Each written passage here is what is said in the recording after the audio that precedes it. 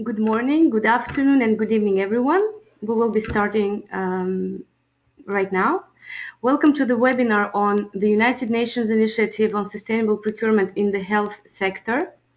Can you, um, Mirjana, can you confirm you can hear me well? Yes, I can hear you very well, Irina. Perfect, perfect. Thank you very much.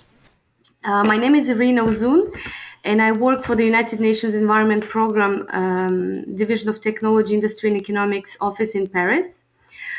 Um, I will introduce a little later um, Mr. Farid Yaker, who is the Program Officer of the Sustainable Public Procurement Program here at UNEP.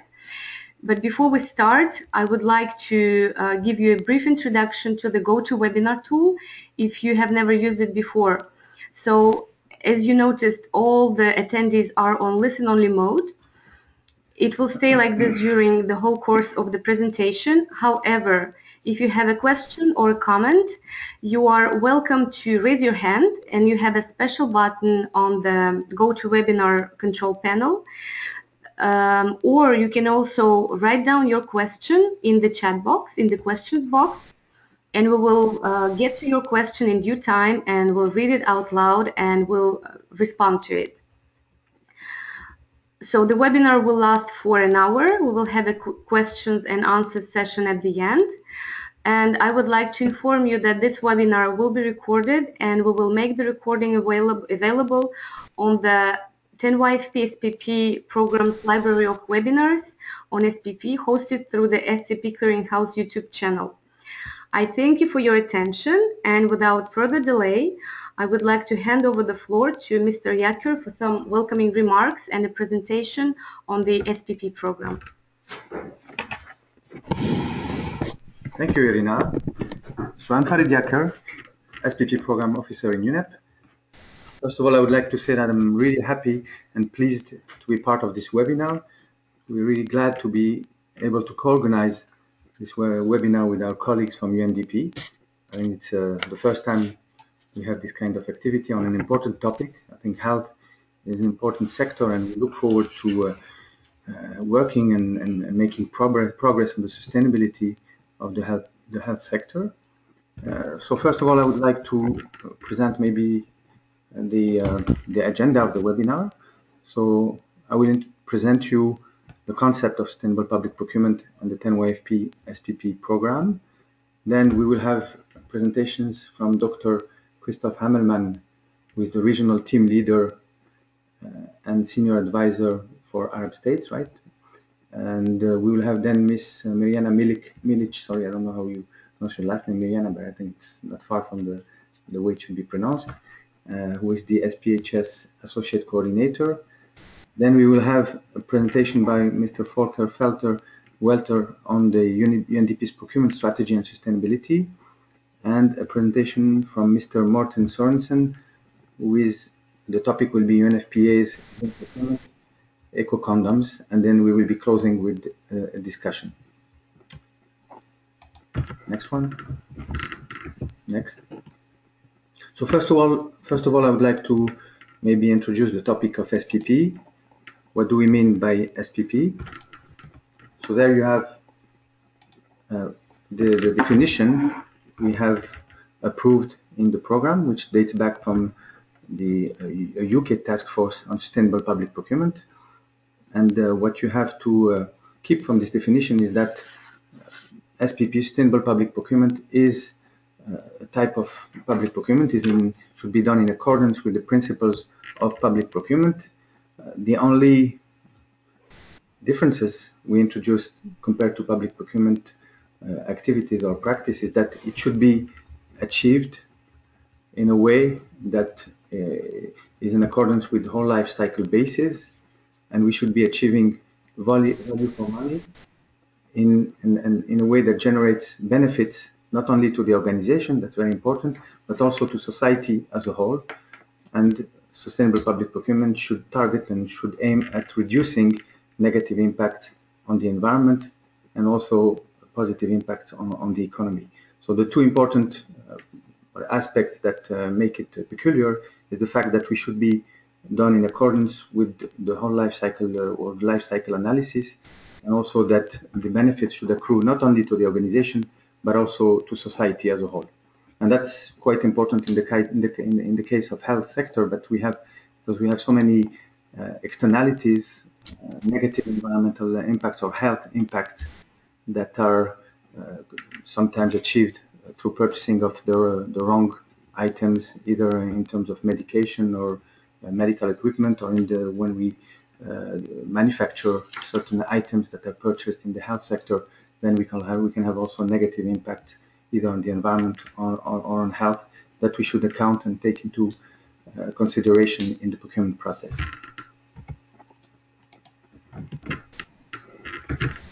When we say take into account the life cycle analysis, one central concept is the concept of total cost of ownership. Here on the graphic you can see the comparison between two products, a green product and a standard product. Usually if we purchase the good by using only the acquisition price, then we will tend to purchase the conventional product in gray. If we factor in other aspects like uh, the use cost and the waste cost, then you find out that the green product can be less expensive in the end than the gray product. So it's important to take into account subsequent phases, use phase, waste phases, i.e. the total cost of ownership of the good to have a clear view of uh, the global costs that are going to be incurred by the organization. And in this case, very often green products or sustainable products can be cheaper and then can be really encouraged for them. I mentioned also the, the centrality of the concept of uh, value for money. So in, in sustainable public procurement, we want to increase the value for money, but the way we define value is a bit different from conventional procurement because the value uh, should incur or should, sorry, uh, factor in negative externalities, for example, CO2 emissions, uh, impacts on health, for example that we should take into account when we do the purchasing, or also positive externalities, increased know-how, the uh, transfer of technologies, and all that over during the, the, the period of possession of the good.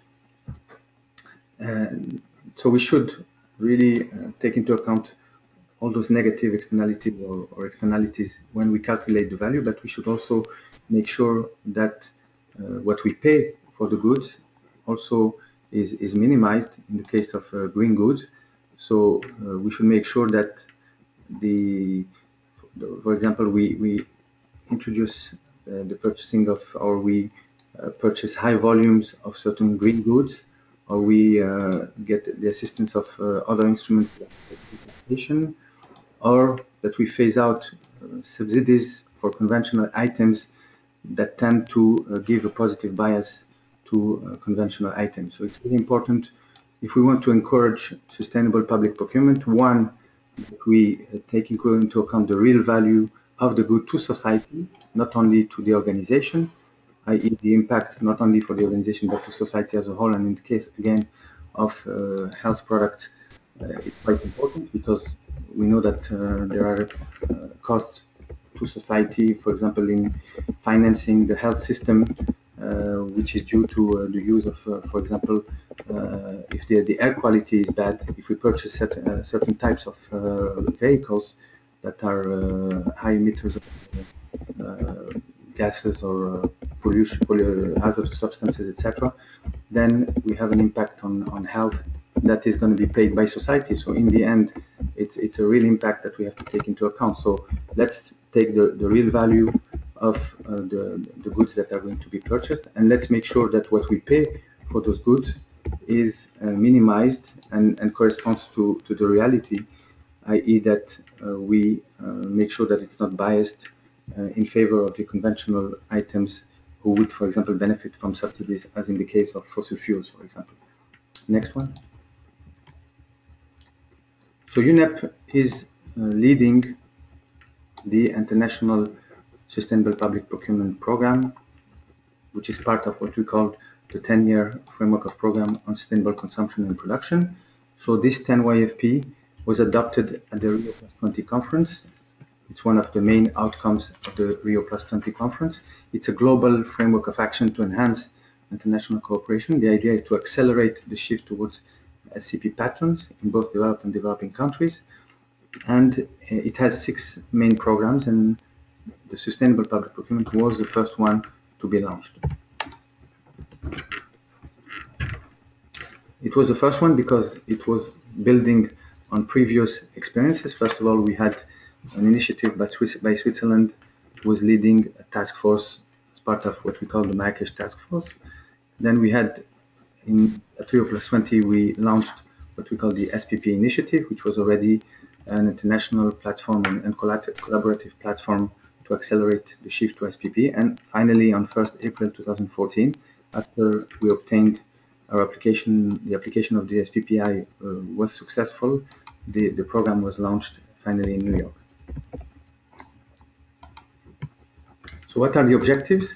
Uh, the main objective, objective is really to build an international SPP community and this uh, and, and, and, what we do together as, as a community is really we try to build the case for SPP, improve the knowledge on sustainable public procurement and ensure that it can be an effective tool to promote greener economies and sustainable development.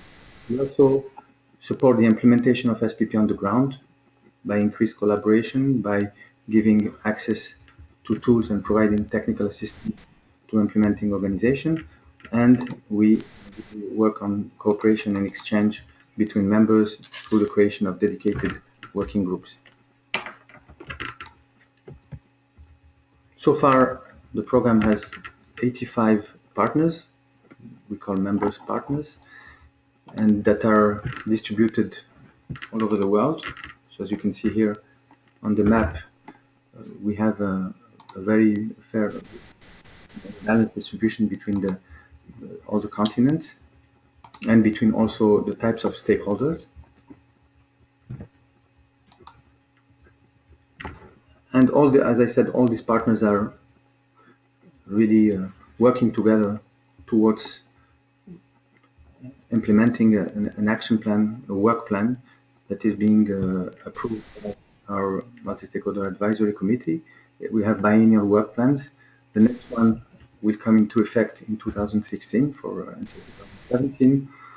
Um, looks pretty much like the, the, previous one. As you can see, we have four main work areas. The, the, priority for us is really the implementation of SPP on the ground, but we have also the um, the, the, interest and interest in assessing implementation and uh, the impact of SPP.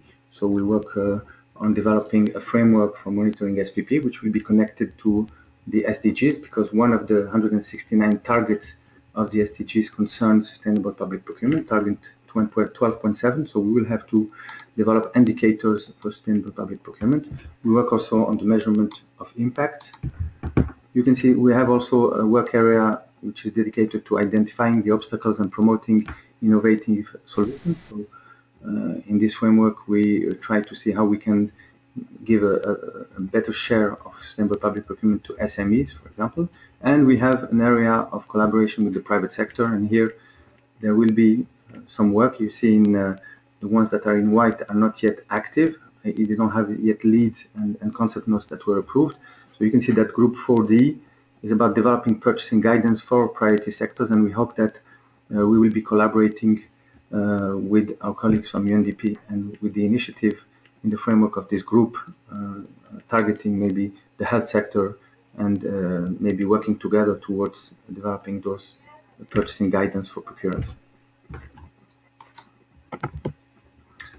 The previous work plan, as I said, uh, lasted two years, and we have some of the outputs here that are on the screen. You can see that we have developed SPP principles, we have developed uh, studies with recommendations on how we can measure uh, the benefits of SPP, how we can monitor SPP implementation. We produce also a global review every three years on the state of implementation of SPP and GPP. The next one will be out in 2016. We did also a pre-study on the sustainability of supply chains with the help of our colleagues from uh, SEMCO in, in Sweden. Next one. So I hope I, I, gave you a good overview of the program. So uh, hope that many of you now uh, are interested to, to join. We need to have uh, more participation, more interest uh, in, in, the program and, and, and, increase the number of partners. So please join the 10YFP program. I, I provide you here the link to the website. And if you need more information, please don't hesitate to come back to us. And I look forward to participating in the discussion later on. Thank you very much. Thank you very much, Farid. Mirjana? Yes. So the floor. Um, thank you. For, mm-hmm. Thank you. Um, first, I would like to thank you both, Farid and Irina, for an introduction and, of course, an opportunity to present the United Nations Initiative on Sustainable Procurement in the Health Sector, which we shortly uh, call the SPHS Initiative.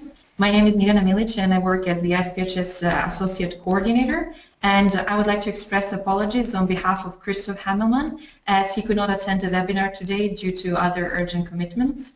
Nevertheless, we both uh, stand at your disposal for any questions you may have, and you can contact us via email or through our website. Can you please go to the next slide? I would like to begin with a brief introduction on our initiative, answering the questions who we are,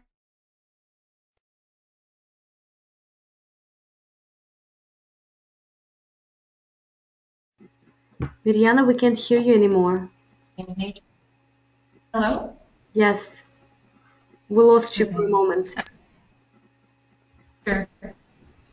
So let me repeat again. With an rising interest of the UN agencies uh, who procure health commodities and services in the global health aid market, the SPHS was officially established in May 2012 in Copenhagen, Denmark.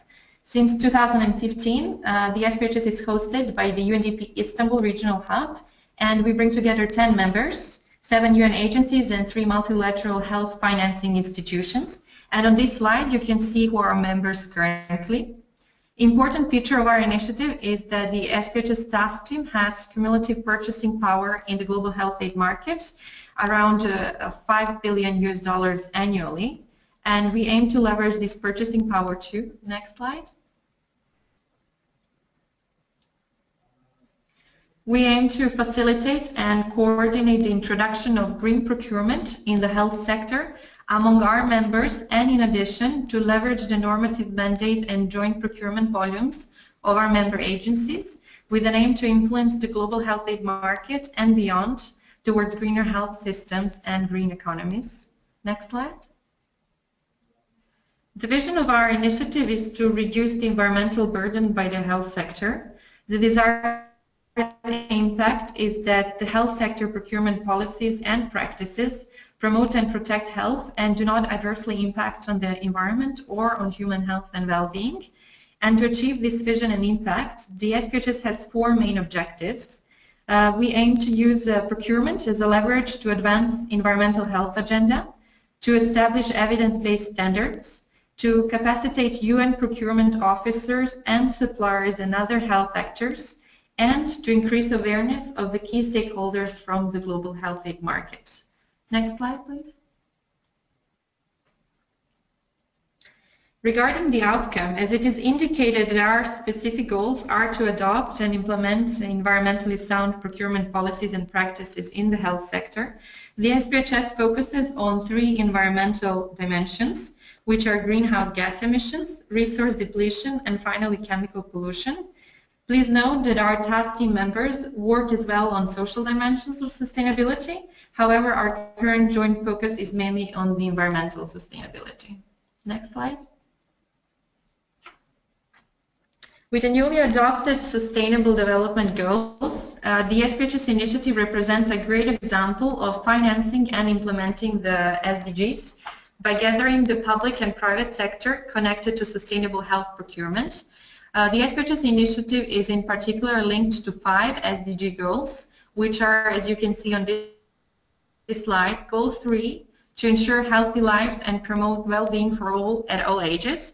Goal six, to ensure availability and sustainable management of water and sanitation for all. Goal 12, to ensure sustainable consumption and production patterns. Goal 13, to take urgent action to combat climate change and its impact and Goal 17 to strengthen the means of implementation and revitalize the global partnership for sustainable development. Overall, uh, we are aligned with these SDGs that I mentioned, and the SPHS aims to enhance basically the global partnership for sustainable development by promoting public procurement practices that are sustainable. And in addition to this, I would like to uh, mention that the SPHS initiative is also aligned with the principles which were established by the United Nations Supplier Code of Conduct. Next slide. So the question is how do we get there in practical terms? As I have mentioned earlier, public procurement has been identified as a key entry point for promoting more sustainable production and consumption patterns. In order to achieve this, in 2014, with the support of the UNDP Innovation Facility and the Danish government, we have developed a roadmap for the development of the Green Procurement Index, Health. One of the most essential parts uh, to successfully implement green procurement criteria into UN system procurement practices, as you can see in the center of this roadmap, is the engagement with suppliers and manufacturers. For this reason, our task team has been particularly focusing on its engagement and collaboration with suppliers and manufacturers with an aim to introduce green procurement.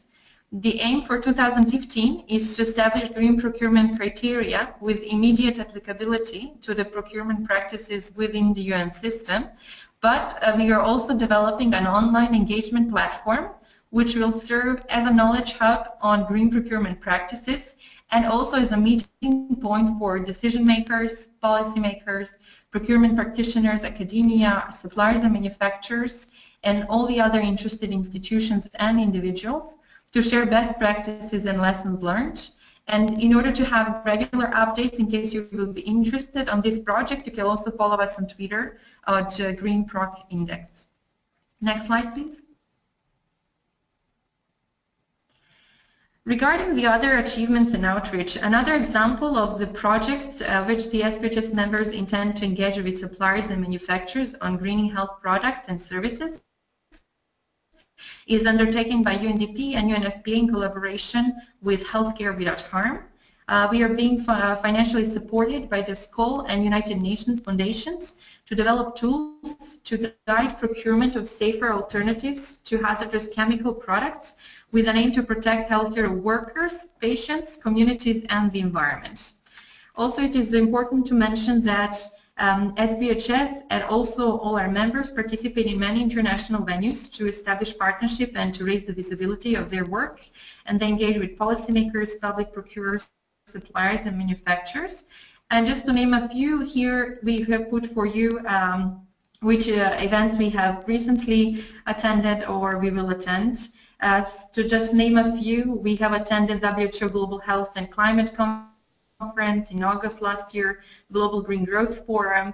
Recently, we were also participating in International Solid Waste Association Congress in Belgium, um, as well as the European Commission Joint Research Center Seminar on Global Sustainable Development in the pharmaceutical and healthcare sector, and it was held in September. And beyond that, we will also attend the International Pharmaceutical Federation Congress of Pharmacy and Pharmaceutical Sciences, which takes place uh, this week in uh, Düsseldorf in Germany, uh, as well as we will attend and organize certain capacity development sessions at the UN Global Supplier meeting in Copenhagen in November this year and participate again in the Global Green Growth Forum taking place next year in Copenhagen. So these are just some of the venues which uh, use to establish partnerships and promote sustainable procurement in the health sector. Lastly, one of the key strengths of the initiative which I would mention is its vast global network of internationally renowned institutions and experts uh, who are specialized in many diversified fields related to public health, environment, development, sustainability, and similar. We bring together around 3,500 individuals and organizations who are interested in sustainable procurement in the health sector and who are present in uh, 92 countries around the world. Next slide. To just give you an example of uh, from some of our members, I would like to mention the work which the UNDP has been undertaking to measure the compliance of its healthcare procurement with international conventions, which consider the whole life cycle of the products, taking into consideration aspects ranging from the production to the disposal, This evaluation and monitoring activity is still in the development phase, but it is well advanced. And here on this slide, you can see five international that will be considered for the exercise. Next slide. For those who might be interested in our work in details, you can access our updated engagement platform and newsflashes on the links that you can see in this presentation. The structure of the online platform addresses a number of our objectives and will meet the needs of our members and all the external stakeholders, including other UN um, and multilateral agencies, suppliers and manufacturers, public sector procurers, NGOs, think tanks, and other members of the public, which will present a great potential to tap the collective knowledge and experiences of the health sector and beyond to share information, exchange lessons learned, and get involved in diverse projects. The SPHS uh, newsflash system also facilitates communication between our members and our external network, stakeholders, and all the other interested parties. In case you would like to subscribe to receive our newsflash, please you can also follow the link that is provided. Next slide.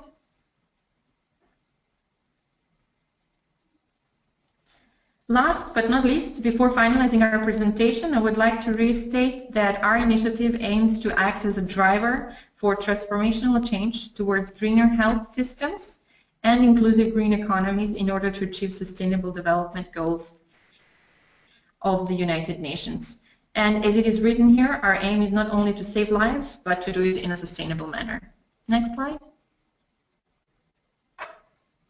Again, I would like to refer you to our website, ittspHS.org, for more information on our work and the ongoing and future projects. You can also follow us on Twitter and receive regular updates on the initiative by scanning the QR code from this slide. Now I would like to hand over to Mr. Mark Lundvall from UNDP, who will deliver a presentation on their procurement strategy and sustainability aspects.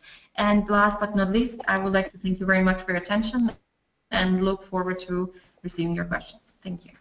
Thank you very much.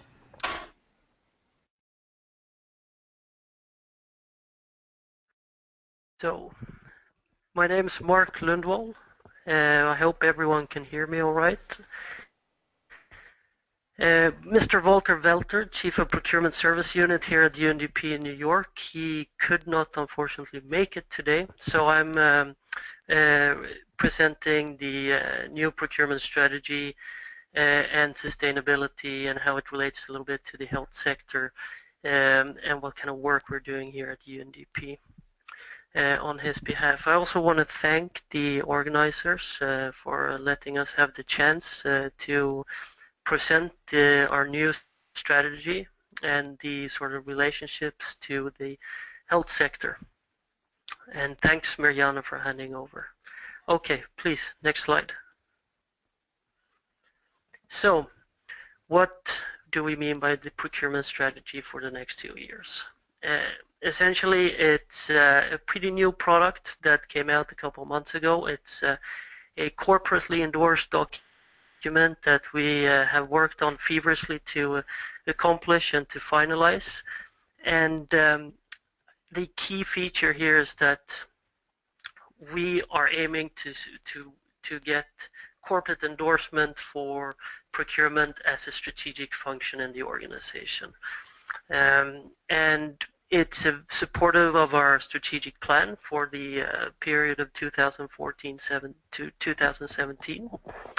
And uh, furthermore, like the sort of key features of the strategy are that it includes commitments to, for instance, clean supply chains, like monitoring what's going on, uh, purchasing innov innovations, and uh, also integration of the procurement function into the uh, uh programming function, and um, build on stronger partnerships, um, public, private, wherever we can find sort of synergy effects, and also enhance the transparency uh, and integrity as well as accountability, which are of course key pillars of uh, any public procurement. Uh, so something that will be super important to analyze the strategy and how we're fulfilling it is of course to uh, measure the impacts and then um, also we will be assessing and building capacity within the procurement function. Next slide, please. And uh, think the sort of overarching uh, feature of the procurement strategy or the UNDP procurement strategy is that it's green and it takes care of, of the environment in, uh, in, in all uh, uh, areas possible. And essentially what we mean by it being green is that we're going to be implementing mandatory evaluation criteria and social cost of carbon when we're actually doing purchases. And and to us that is uh, uh, to make these mandatory features of the procurement process will be sort of key in order to progress the environmental agenda or the sustainability agenda. And um, when we're talking about this, we, we want to move away from the maybe traditional way of thinking about procurement where there's a focus on price as the main denominator whether whether to go ahead with a contract award or not. But rather we want to move away from this way of thinking. And like Farid said a best value for money principle as well as sort of building on the concepts of total cost of ownership and life cycle cost and uh, this will be key. Um, yeah, I think we can move to the next slide. Thank you. And um, so I talked a little bit, I quickly mentioned clean supply chains and um, any kind of supply chain that we're engaged in considering our varied portfolio in UNDP um, is uh, first of all, it's very complex um, and it includes many, many different players. It can be subcontractors, wholesalers, manufacturers, and it can be various geographical locations, regions, and, and countries, and so on. So to paint a, a, um, a, short, a long story short, uh, it's a super complex structure that we're working in, but at the same time, we need to ensure that our doorstep is, is clean, as well as our back doors, of course, depending on how you see it. And, um, and therefore, our strategy includes uh, some key commitments to ensuring that our supply chain is is clean throughout and um, it's of course a enormous task in, but we we are go we have endorsement for this and we're going to do um, uh, we're going to develop tools and monitoring mechanisms, and uh, it's going to be done most likely via sort of supplier audits or or spot checks and assessments, and it's all going to be uh, based upon sort of working together with with our suppliers uh, as partners and and promoting sustainability rather than a, a top-down approach. Okay, next slide, please. Yes, um, a big focus of this strategy will be uh, renewable energies. That's a big talking point uh, and discussion topic in UNDP these days. And um, a, a, key in order to move ahead with that is uh, solar technology or solar appliances or solar energy, call it what you want. Um, and uh, some of the things we already done and we we expect to uh, or we aim to enhance these uh, and progress these uh, projects all, already underway but one of the main things that we've done is uh, that we pre-positioned solar appliances in uh, strategic hubs or strategic humanitarian response depots around the world. And for quick deployment of these when for instance a crisis strikes.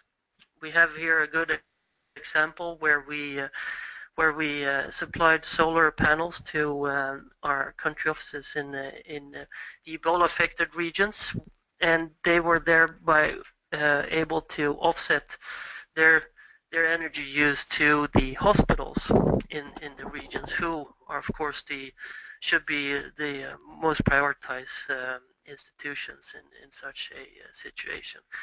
Um, and um, another sort of fact that uh, um, is clear is that uh, in the Nepal earthquake, actually the only working electrical infrastructure or community infrastructure was solar streetlights.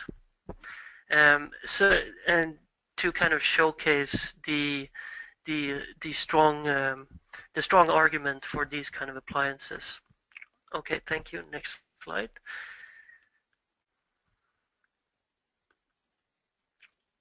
And um, we have already today a lot of LTAs, which are available to via our LTA repository, available for interagency use and piggybacking by other uh, by other UN agencies.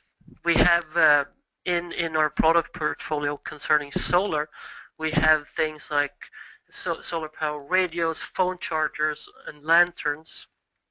Um, and then we have uh, even small off-grid solar home power systems that you can place on the roof um, of a of a structure of a house. Um, we have some headlamps and then power packs that are portable. These are all available for uh, more or less immediate shipping as far as. Uh, okay, thank you. Next slide.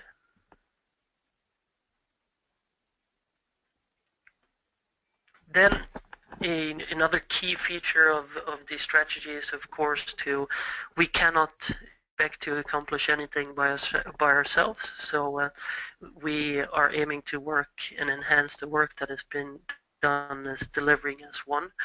And um, we, we aim to uh, partake in any discussions that are, are uh, progressing this sustainability agenda and, and the um, UNDP procurement strategy. Things like the best practice examples, greening the blue from the um, the uh, Secretary General's uh, initiative, are are really showcase pieces where where um, really uh, procure uh, the UN, the power of the UN and working together can be be leveraged, and um, we, we will ensure to of course, talk with our peers in the UN system on and and have a a discussion on the social cost of carbon and the possible implementation of that in in our uh, purchasing decisions, and and also to get it peer review, uh, reviewed sort of and how to we can apply it to our specific contexts. Okay, thank you. Next slide.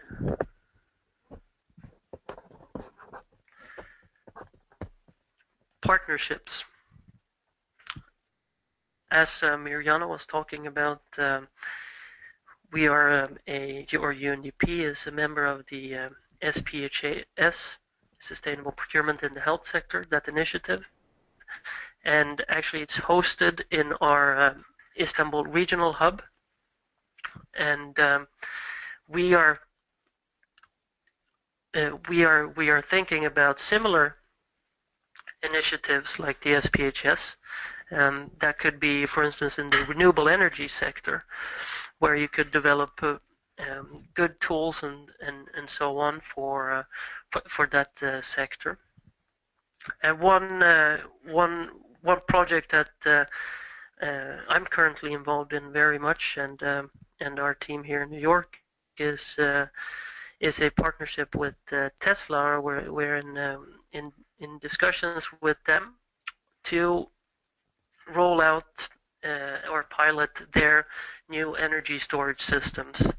This has been going on for a couple of months so far, and we have uh, some great uh, interest from our from our part, uh, from our country offices in uh, in uh, Senegal and in Zambia, and we're talking about piloting these in, in in countries where they're needed. Um, thank you. Next slide.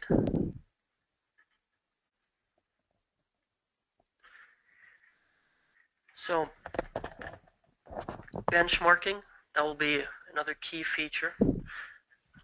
We can talk about benchmarking internally, externally. Uh, there's al there's always need to benchmark in order to analyze and to review what's going on and whether we, as well as our peers, as well as our uh, stakeholders or other stakeholders, are doing um, what we're expected to. But um, it's the main the main issues here is of course that it aims to drive business improvement and ensure that CSR um, is respected by subcontractors. That is that is that is one key feature of of benchmarking, and uh, this is where the Green Procurement Index Health is uh, is is driving key is driving the key initiative, and um, similar to what we just said on the last slide, and um, is that health products or the will be used as a pilot to see whether we can roll this out in other product categories or the concept rather and see how it can be uh, adopted to um, any specific circumstances. Essentially, we see benchmarking then as providing this objective measurement of sustainability um, and um, it serves as the first step in a broader commitment. Thank you. Next slide.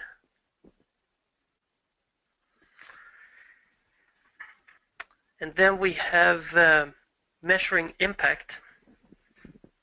Essentially, we will have to do, of course, measurement on se several levels. But um, if we're talking about he health sectors and uh, and uh, and uh, and renewable energy sector, we're talking about that we have to do our homework and uh, review the ongoing certifications and uh, certification schemes and standards in environmental management systems. And uh, for instance, the self-reporting schemes on greenhouse gas emissions, uh, the Carbon Disclosure Project, and in order to ensure how these can be um, applied in our specific context. Another key feature is, of course, to report back our findings to, and we will be doing that too via the annual statistical report, the UN annual statistical report, I should say. Thank you. Next slide. Yeah, that's about it. I hope um, think it was interesting, and please uh, get in touch with us in the team. I see my my uh, uh, neither um, mine or Mr. Volker Welter's email are there on the slide, but I'm sure if you get in touch with the organizers that they can, they would be happy to uh, hand them out or our contacts out. So thank you very much. I hand it over to the to the organizers. Thank you very much. Yes, we will be sending a follow-up email and we will provide the, all the contact details.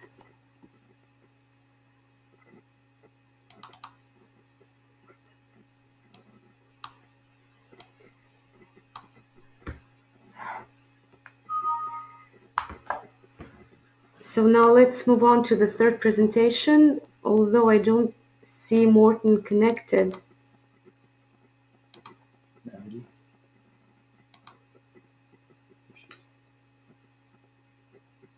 Emily, could you please check with Morten who is going to cover? Okay, Morten.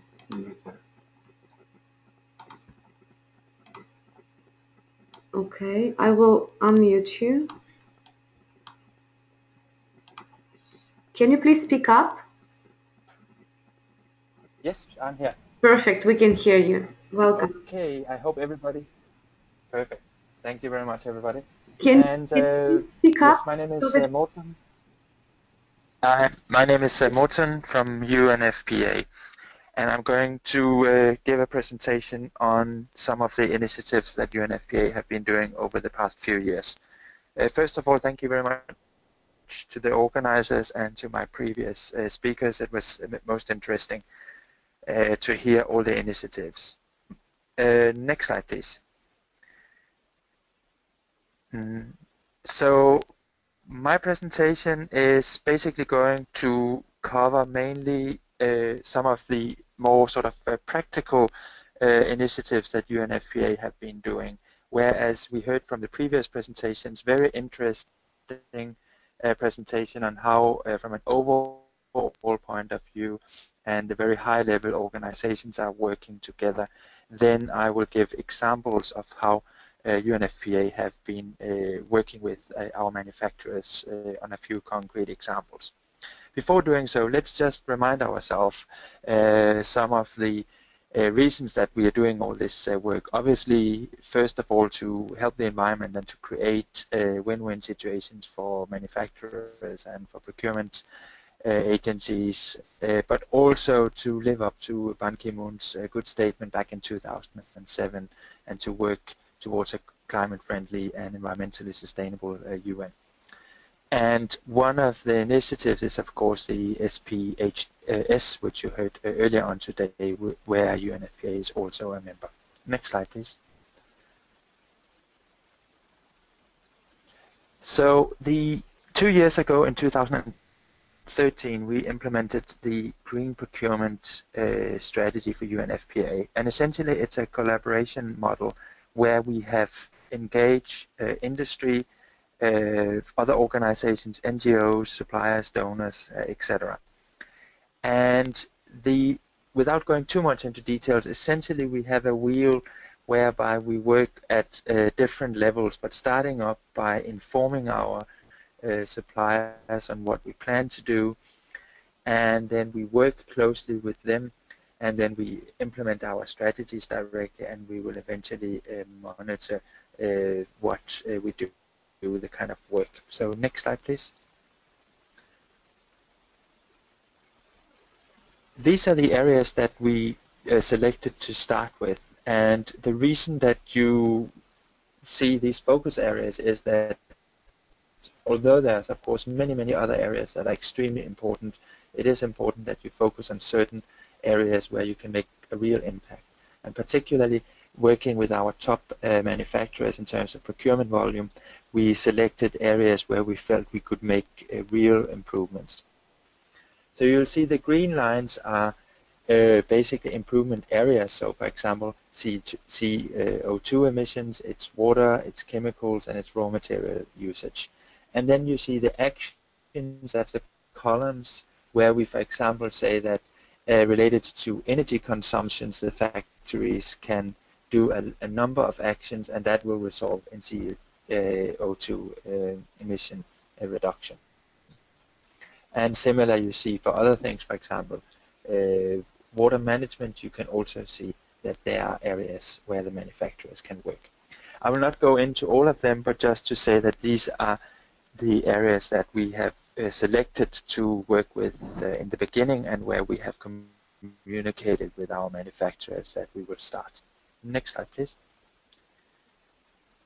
So we have started with what we call low-hanging fruit, so basically areas where we could make concrete uh, initiatives that would help both manufacturers but also help us uh, making uh, greener procurement and relatively quick uh, demonstrate some uh, benefits for everybody. Next slide, please. And I'm going to talk with uh, about some of the initiatives that we have done. first First of all, uh, and these initiatives are relatively uh, low-hanging fruits. We have introduced in our tenders uh, that manufacturers must be ISO 14001 certified beginning from next year. But obviously before doing that, as I said, we started two years ago informing them about it, that we were going to do it. We informed them about the benefits of it. We were working within uh, ISO organizations. Uh, etc. So it's a gradual process whereby manufacturers will learn about the benefits of being ISO 14001. And then gradually they have time to, to do it and then eventually we are going to of course monitor it during the pre-qualification scheme. Uh, but for now we have put it into the tender documents and the first tender where it will be a requirement is our upcoming uh, condom tender. UNFPA uh, is together with USAID the biggest uh, public sector procurers in the world of condoms, so therefore we believe we can make a real significant impact in this area. Other areas we have asked the manufacturers to look at is to have a clear wastewater treatment plants. Uh, it is to look at the air pollution and it is to look at plans for saving energy and using renewable energy as much as possible. Here we have asked them to go by uh, local uh, laws and one can argue that that is a small step but it is important that we uh, also respect the manufacturers and we give them a, a real chance to uh, upgrade their manufacturing facilities. If we are too fast and if we push them too much, we will risk uh, losing uh, a lot of manufacturers, maybe all of them because they cannot make money or they don't have enough time to change their production. So it is important to be re uh, reasonable but also to communicate what you want to do. And finally, packaging, and this is another area where we have made great progress uh, by introducing various packaging requirements, for example, using recycling material. I'm going to talk about that a little later. Next slide, please. So these are some of the areas that one can focus on uh, within uh, both manufacturing but also uh, what what kind of green impact the product uh, will have.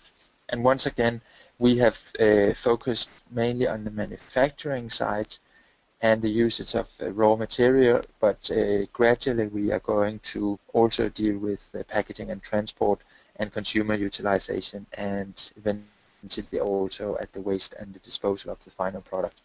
But to start and to be realistic, especially given we have very little budget available, we have started within uh, the manufacturing sites itself. Next slide, please.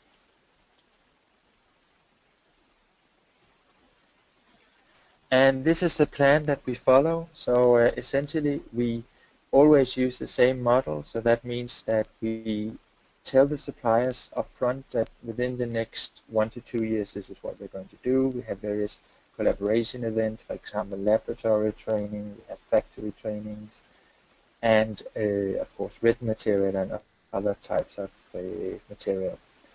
And then we give them the requirements, that was the bidding documents I spoke about, and eventually they will of course have audits, uh, and that is only going to happen after three to five years.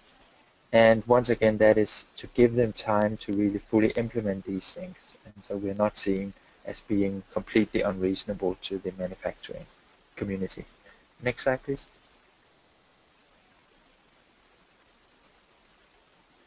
And these are some of the recent uh, activities that we have started. Uh, I've already touched briefly upon them, but the uh, ISO 14001 is just that we are going to train our own staff, of course, so that we are not only asking manufacturers to be ISO 14001, but we are also planning to do it ourselves, and we are already uh, ISO 9001 certified. Uh, packaging is a big area. We participated in various ISO events and we are doing a lot of uh, work there. And we have quarterly uh, training and meetings with uh, 12 manufacturers that are currently volunteering to do some uh, work with us on this, uh, on this work. We have also done some research and we, we will be publishing various articles related to reducing the condom pack size, increasing the shelf life, and other research to basically help um, the products to uh, live longer, so to speak, so you don't have to throw away so many products, but also if you can pack them more compact, then you can of course ship more product in less space and save energy and raw material. Next slide, please.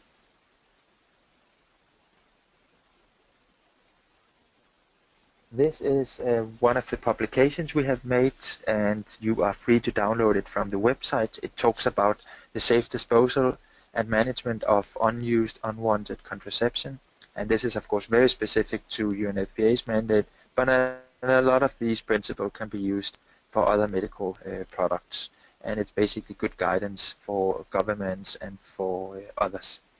Next slide please. And this is some of the markings I was talking about. So in terms of the paper and the cardboard, we are now asking manufacturers to have FSC marking. This is not possible in all countries, and therefore we also have an, a few others equivalent uh, labeling that we will uh, accept. and we are using kind of a grandfather approach so that we can basically take and move them slowly over uh, to um, a, new uh, system. So if the, the, countries where the cardboard is produced, they do not have any of this, then we will ask them to uh, prove that there's more than 50% of recycled material in the cardboard, and gradually we are going to increase that number. Next slide, please.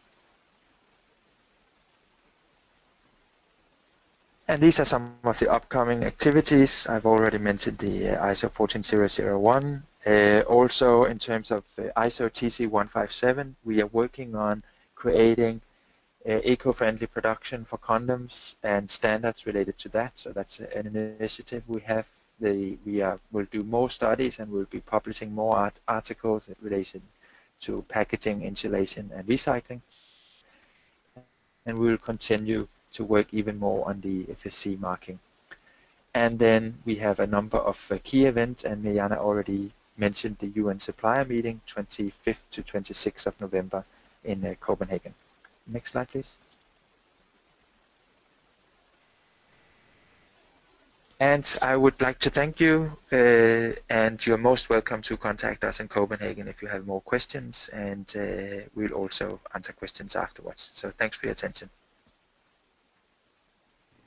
Okay, thank you very much. I think we can move on to the questions and answers session.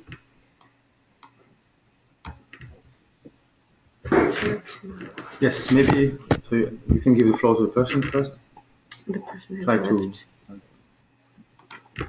And the person left, we, we move to the next one. Mm. It's from Kezang Kezang. And Yes. you can you hear us?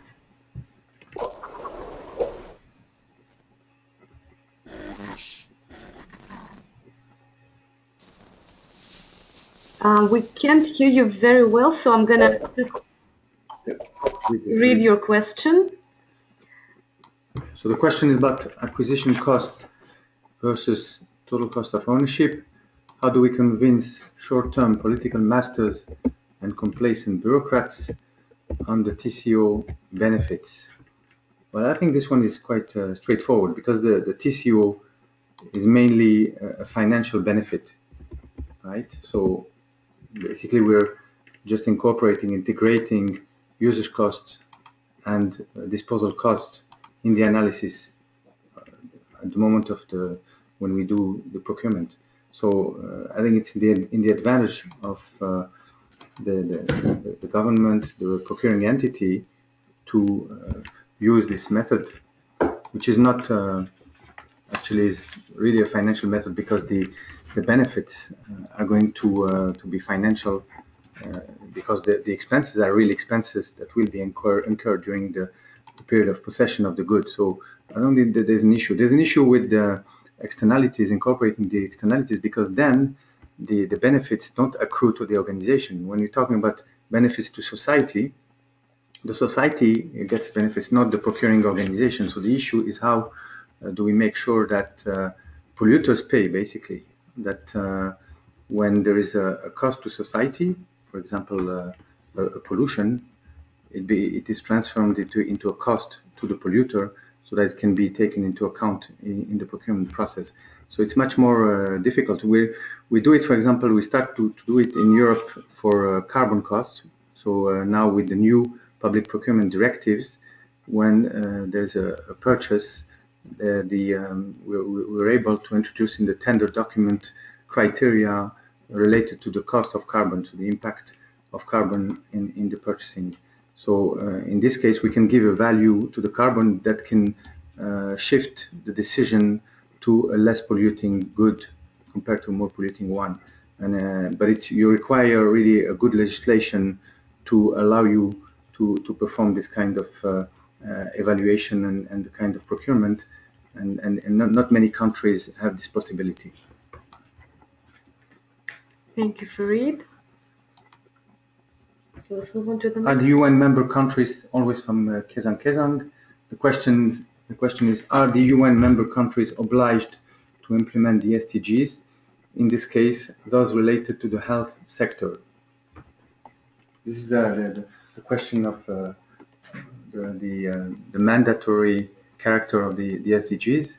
Um, I think it's uh, it will be its decision from the international community at, at a recent summit.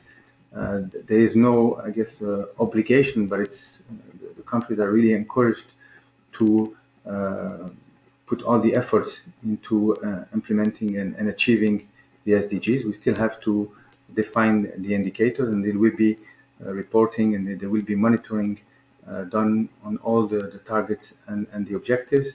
So uh, I guess this is an international commitment, but it is not, I would say, mandatory for the moment.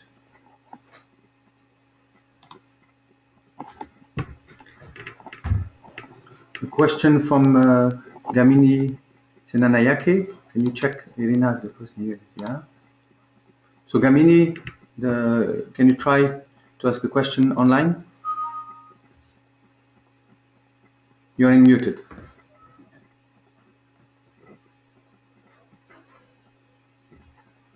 Hello. Hello, yes, we hear you. Uh, yes, uh,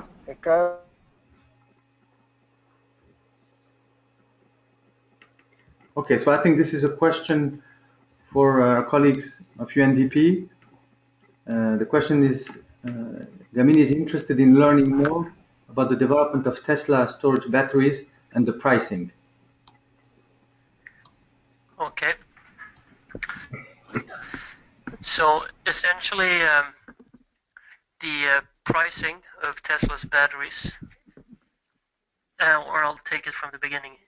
The battery that they sell or they manufacture and sell is the similar type of battery that anyone would find in their cell phone or smartphone. And it's a it's an a, it's a, essentially a little bit different from a normal lead acid battery, and it's also more environmentally friendly for that matter. But that's besides the fact that pricing is available or publicly available on their website. Uh, I'm not going to talk about the specific pricing because uh, it's not us setting the prices, so to speak, but it's available on their website, so I encourage anyone interested going there. Um, also concerning the development or manufacturing, that's how I read the question at least, uh, that it's concerning the manufacturing process and uh, potentially a little bit about the design process. But essentially, the the Tesla idea is to, of course, they started with electric vehicles. Now they're moving into energy storage systems on a larger scale for other applications, and uh, especially for solar panel systems or solar energy systems. And um, what they've done is that they've built or they are building a huge factory, essentially a factory that we will, when ready, be producing as many batteries of um, of the uh, of the kind that we're talking about as a whole world production currently. So it will essentially double the world production of um, batteries within this category and, and that is a pretty big increase, and that's also why, uh, at least if you read their statements, that um, that their pricing is so competitive, and it is competitive. That that I can that I can informally confirm. But um, that is a little bit about how they how they do it, and I, I'm not sure if I missed any uh, pieces of the questions that the uh, the uh, the the the, uh, the uh, that that that people are interested in knowing more about, but uh, I think that is sort of the main pieces as I see it. Thanks. Um, I have a hand raised by Elaine Blair. Can you please speak up? You are unmuted. Hi, good uh, morning and afternoon and evening, everyone. Um, I just had a question in regards to the actual um, clauses that you're putting within the tender documents for the health sector. as well as how these are being evaluated uh, once they return. Uh, are those still under development or they have been developed?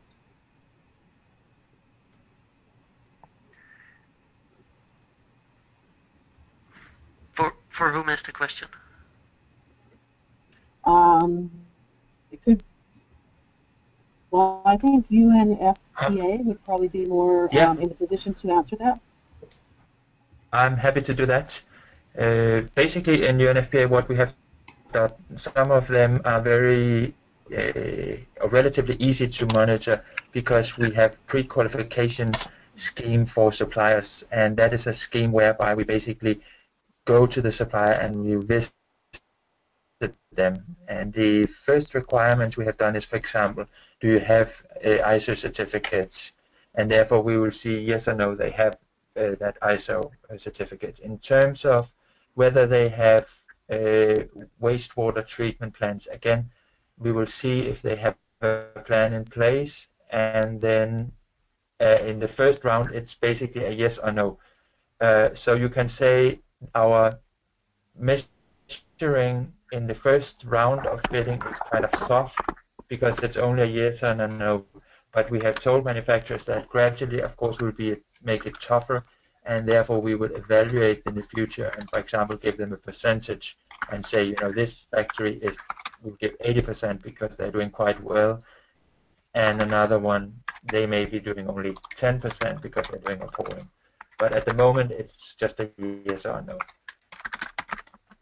Thank you. Okay. A question from um, Marco Isoni, I guess to our uh, UN colleagues uh, doing procurement, and he's asking, in their conformity procurement process, are the EPDs, the environmental product declarations, used as an instrument to verify the environmental criteria? So do, do you guys use uh, the EPDs in the procurement process?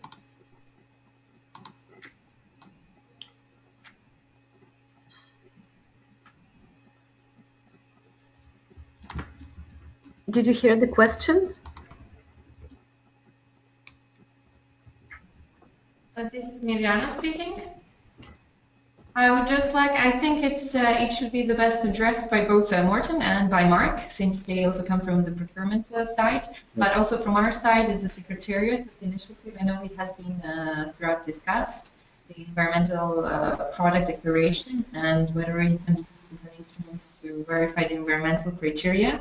However, we have realized that it has not been um, applied to the health sector to a substantive level that it can be introduced uh, as an instrument.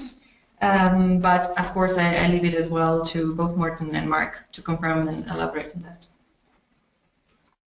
Yeah, I can comment on that. Uh, from UNFPA side, we have not used it uh, to start with, but uh, as you rightly said, it's uh, basically, as, as we view it, something that is still uh, under development in the sense that it has to be Uh, incorporated in our bidding documents. So once again, the approach we have taken is low-hanging fruit, something we can easily measure, and then we start off with that and see how it goes, see what kind of reaction we receive from manufacturers. And, and this is essentially a combination of us only having a small budget available, but also because we really want to make sure that we don't push our suppliers away from us. So therefore, we take this very careful approach to start with. If it is or not? Uh, or, or... Morten?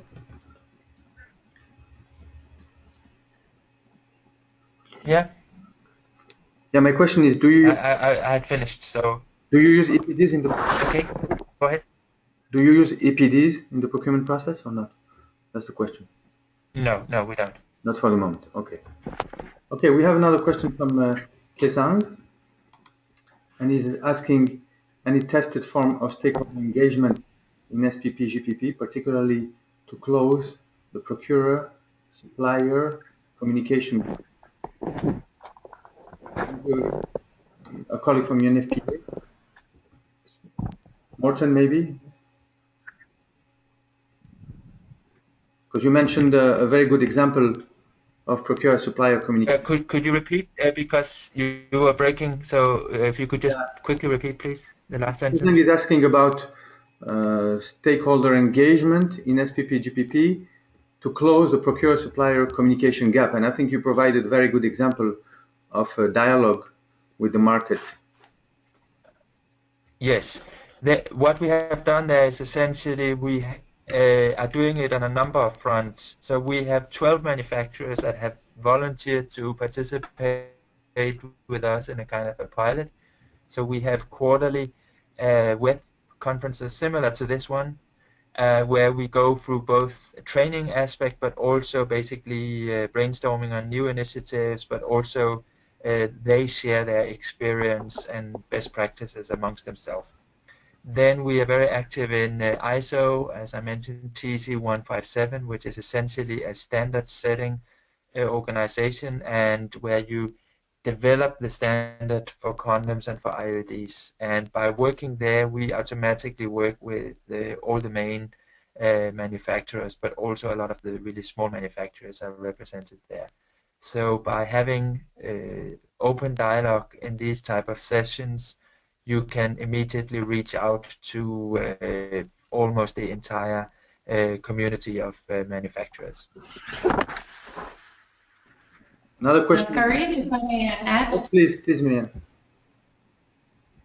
Um, yes, I would just like to add to this that, uh, as well as Morten mentioned, that UNFPA has been involved in numerous venues, engaging with suppliers and manufacturers, also some of our other members as well, and us as the SPHS Secretariat we have been participating in a number of these venues where we tried to understand and close the gap between the procurer and suppliers, and especially we consider communication as one of the most essential parts uh, of our collaboration and, and, engagement. And this is one of the reasons why we understood, um, uh, basically in a dialogue with suppliers and manufacturers, that having something as an online engagement platform that could facilitate this whole process of communication and serve as a knowledge hub that I mentioned previously in my presentation presentation, which will be actually a perfect solution uh, for having a forum for sharing information and exchanging the lessons learned and also uh, bringing together basically both sides, the procurers and suppliers, and engaging them in, in further projects or offering regular updates of certain projects. So this is definitely something that we consider as essential, and for this reason, as I said, we are in the development phase of uh, uh, launching, developing and uh, soon launching the online engagement platform where we would invite everyone to, to join and also participate and engage. Thank you, Mirjana. And I'm sure Kezang will be happy with your full responses. Next question is from Margaret Enos. Unfortunately, she has left. We'll move to uh, another question from Omar Fernandez. San Francisco, and he's asking how can a provider manufacturer collaborate with SPHS initiatives? What about eco-friendly technologies for medical waste treatment, including pharmaceuticals and chemotherapy waste?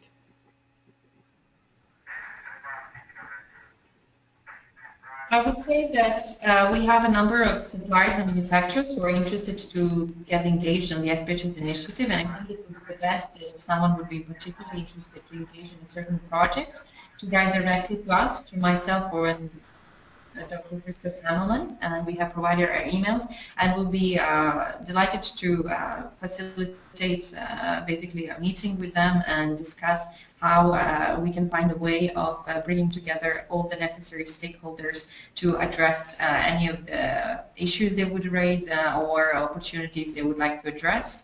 Um, so if it ranges everything from the waste management to resource depletion, uh, if we talk about energy efficiency or wastewater treatment, of course uh, we would be we would like to discuss that.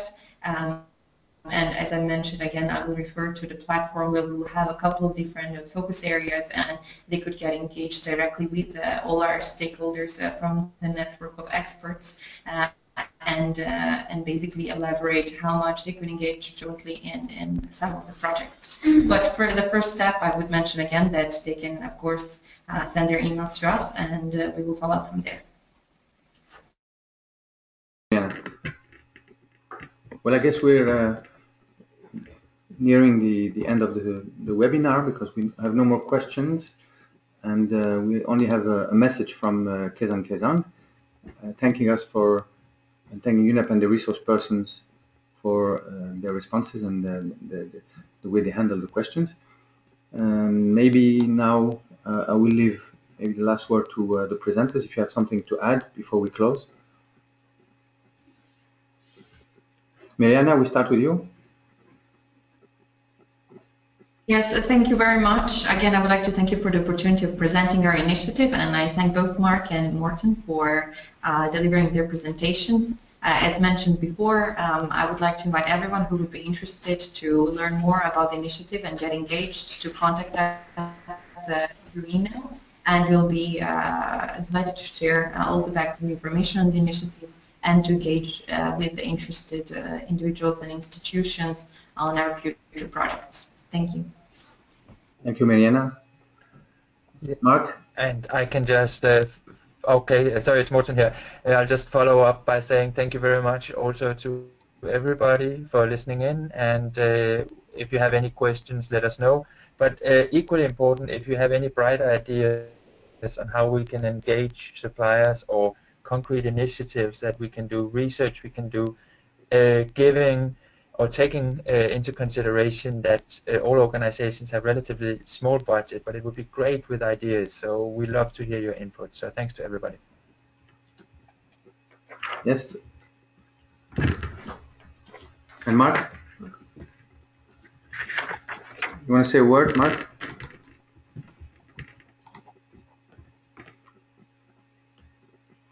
Mark? We can't hear you.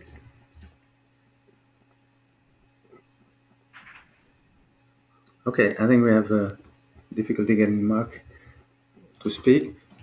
So I, I just want to, would like to say that uh, for, even for us, uh, UNEP, it was quite interesting to find out about the initiatives from our, uh, the, the, our sister agencies, especially that they're really connected to sustainable procurement, which is an area we've been working on for a number of years, and uh, we really see a good opportunity of uh, linking up all these initiatives in the framework of the 10YFP program. We have we're conducting this global program and, and trying to reach out to um, all the SPP stakeholders, and I think it's interesting to see that there are also sectoral initiatives that are trying also to to build an international community of stakeholders around the, the health sector, and we have very also specific procurement initiatives in uh, more uh, targeted towards certain items conducted by UNFPA. So I think we have very good opportunities and, and, and, and, I think we have very good important reasons to collaborate and, and increase the synergies between our various activities and I hope that we'll be in touch in the future.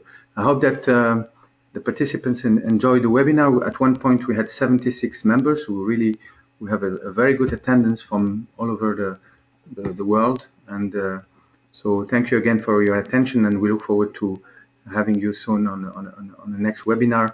Uh, please be aware that the, the, webinar has been recorded and will be uploaded on our YouTube channel. Irina? Yes, thank you very much, Farid. Thank you uh, to all the presenters, and we will be sending the follow-up email shortly. Thank you very much.